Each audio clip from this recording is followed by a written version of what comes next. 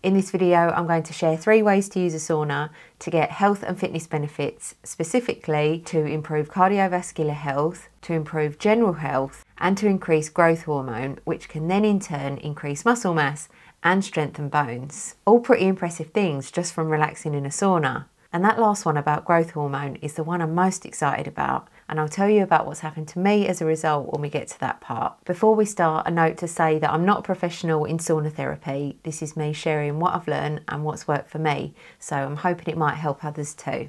The first protocol or procedure, or whatever you like to call it, is using a sauna to improve cardiovascular health. I got this one and the other protocols from the Huberman Lab podcast, which I've linked in the description, and it's a really great podcast.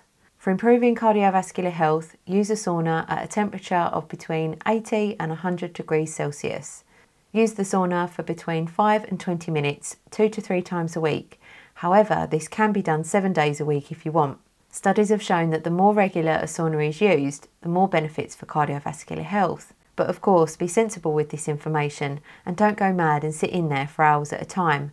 5 to 20 minutes for each session is enough. Studies have shown that by using a sauna in this way, it can reduce the risk of cardiovascular disease and all cause mortality. Basically, using a sauna is linked to longevity, and a 21 year study of 2,315 men showed that using a sauna two to three times a week had a 23% reduction in cardiovascular disease, and using a sauna four to seven times a week had a 48% reduction in cardiovascular disease. And those numbers are massive all from just sitting in a sauna, having a nice time, and not really doing much. And this works because as the body warms up, it causes an increase in the heart rate and blood circulation, and that mimics moderate aerobic exercise. So, although using a sauna is not a direct replacement for exercise, it is a good alternative. In short, visit a sauna 5 to 20 minutes as often as you can, and you'll get plenty of cardiovascular health benefits. Before moving on to the next protocol, then be safe and be responsible when using a sauna. Stay hydrated and don't push beyond your tolerance. And if you're unsure whether you should be using a sauna, then speak to your doctor. The next way to use a sauna is for improving general health, and I got this one from the Huberman Lab podcast as well. For this, ideally use the same temperature as before, which is 80 to 100 degrees Celsius, and use a sauna for a total of one hour a week and that's not all in one go but separated over two to three sessions. So this is kind of similar to the previous one but also a bit different.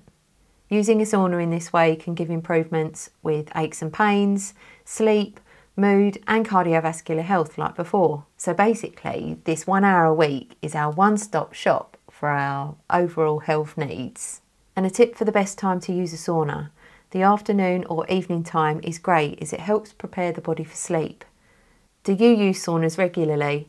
What benefits do you get? Maybe you're tempted to start as a result of this video. Let me know in the comments as I'm sure other people will read the comments looking for inspiration.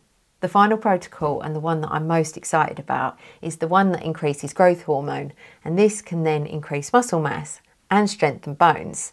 And I've had great results with this one and I'll tell you about that in a minute. For these growth hormone sauna sessions, my mum joins me each week and we drive about visiting local gyms and spas because we don't have a sauna in our local town. I've been doing this protocol for about eight weeks and my absolute dream is to have a proper sauna and an ice bath in my house. I mean, I do have that now, but it's a sauna tent and a wheelie bin. And actually, they both work great. So if like me, you don't have a sauna near you, but you still want to try all of this stuff, then I've got a really good alternative that you can use at home. I've got this portable sauna tent it's not a traditional sauna, it's infrared, so it doesn't need steam or any ventilation, and it is brilliant. It gets so hot and I sweat buckets when I'm in there. I've made a separate video about this, showing you around the product and how it works, and I've put that on my Extra Bits channel. And I've not been paid to say this by the way, I'm just sharing what I've found useful. It costs about £300 and is an absolute bargain for all the health benefits. Moving on to protocol three, and that's using a sauna to stimulate growth hormone. A few months ago, I had an extensive blood analysis and it showed that I was extremely low on muscle mass. Now, just to let you know, when I talk about muscle mass, this isn't to do with the way that my body looks or even the way that it performs.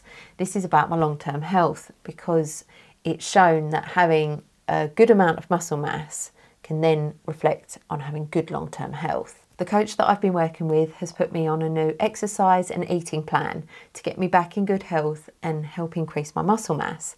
And you can watch that video here. And as part of my plan, Phil recommended that I do sauna therapy, and this is where my research for this video started. There's a few ways that you can use a sauna for increasing growth hormone, and the first one is from the Huberman Lab. No surprise there then. This is ideally done in a semi fasted state, so leave two to three hours between eating and doing this. This protocol requires doing multiple sauna sessions in one day, so you'll need quite a bit of time for it, but the benefits are worth it. It's 30 minutes in a sauna, followed by 5 minutes out to cool down. Then repeat that again 30 minutes in, then 5 minutes out. Then a few hours later, repeat that all again 30 minutes in, 5 out, 30 in, 5 out. It's an absolute monster session. A total of four lots of 30 minutes in the sauna in one day. But with that comes an increase of 16 times growth hormone, and it's the fact that the body is heating up, cooling down, heating up, cooling down multiple times throughout the day that it releases that. And this is a once a week procedure or less, so anywhere between seven and 10 days because if it's done any more than once a week, then the body doesn't actually release as much growth hormone. And at this point, if you're thinking, well, why do I need growth hormone? I'm not a bodybuilder. Growth hormone starts to decrease over the age of 30, and even more so for women during the menopause due to a decrease in hormones. So, by stimulating growth hormone, it can help maintain a strong and healthy body. It's also great for recovery from exercise and repairing from injury. And given my specific goals right now of increasing muscle mass and improving my bone density, then this protocol is ticking all the right boxes for me and it's working great, which I'll tell you about in a minute. And also, with all of these protocols, what a great thing for us to do as well taking time for ourselves to relax and take care of our bodies. That four lots of 30 minutes is quite intense and also it's going to take quite a lot of time. So if you need to, you can cut it shorter and I have got some alternatives for you. You can always work up to it over several weeks as the body gets acclimatised to the heat. I got these two from the Tim Ferriss book, Tools of Titans. So you can go in a sauna at 80 degrees, which is 176 degrees Fahrenheit, do two lots of 20 minutes, separated by a 30 minute break, and this elevates growth hormone by two times. Or you can go in a sauna of 100 degrees Celsius, which is 212 degrees Fahrenheit, do two lots of 15 minutes, separated by a 30 minute break, and this elevates growth hormone by five times. Now, I'll admit, I do a bit of a mixture of all of these, mainly because I haven't got the availability to do the first one. And we do 20 to 30 minutes in the sauna, depending on the temperature, and then we do 5 to 10 minutes out and then we repeat that three times, sometimes four.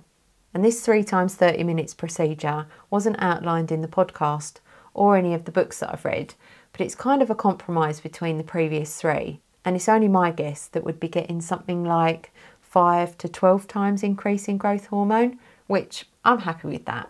It's a bit of a monster session, and by the third session, I start getting a bit agitated. You know, that feeling where you want to get out and I recently learned that that's got something to do with dynorphin being released into the body. It's important to listen to that feeling as each person has got a different tolerance to heat, and therefore, when dynorphin is released, I stay in for one or two minutes beyond that feeling and then I get out.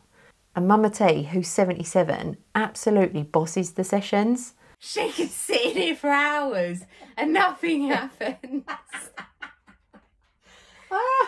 Her heart rate stays lower than mine and she deals with it better. In the three months that I've been doing my new eating, exercise, and sauna plan, I've gained over three kilograms of muscle and increased bone density, which obviously isn't just from using the sauna, but it's a combination of the high protein meals, intense weight training, and doing the once a week sauna protocol, with the sauna definitely acting as a catalyst for the other two. I'd like to know which of the sauna sessions would you like to try? Let me know in the comments. Thanks for watching and hopefully I'll see you in the next one.